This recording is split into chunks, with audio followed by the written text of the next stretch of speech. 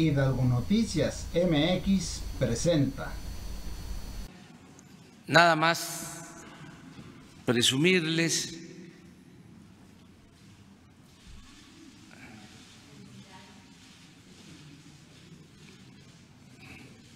que ya está, ya va a empezar a distribuirse para llegar a librerías y ya me dice el editorial que a partir de mañana puede estar en plataformas, en las ventas que se hacen por Internet. Aquí está eh, pues el fundamento de nuestra política, lo que se aplica